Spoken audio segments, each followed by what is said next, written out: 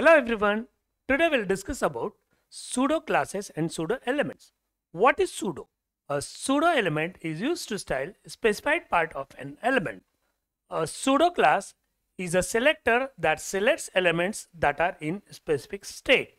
Pseudo element helps to style the first letter or line of content, insert content before or after the content of element.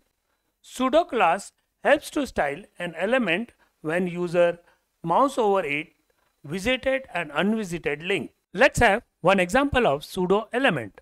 In this example, we are going to have one story. In this story, there are multiple paragraph.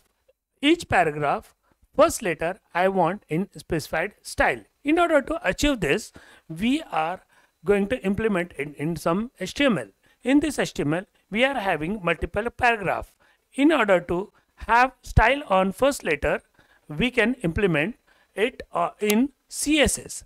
In this CSS, I am going to implement pseudo element p colon colon first letter double colon stand for the pseudo element. First letter I want in specified style. So here I can provide that style which I want to be reflect in the paragraph first letter. Let's have one more example of pseudo element. In this example, we have multiple li tag whereas we need pre and post content. How do you achieve this? If you see the HTML, in this HTML, we have plain UL and li element. In each li element, we have the different task. For example, we have the breakfast, playing cricket and other things.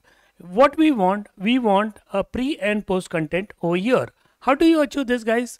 In order to achieve this, we need to implement the CSS. In this CSS, we are going to implement pseudo element li colon colon before and in before we can write a specific content where we want a specific symbol and also we need a specific color. So this is going to reflect as a before and if you see this is the content which is reflecting here.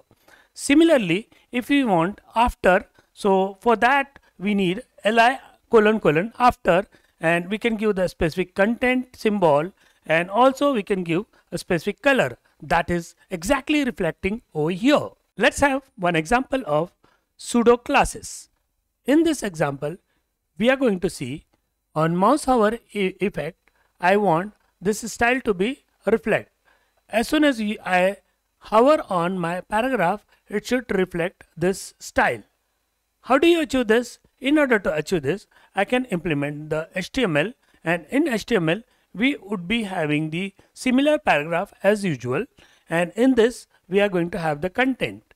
But on mouse hover, I want the specific style to be implemented. In order to implement that, we can have p colon hover and here I can give the specific background color, color, font size, padding and border radius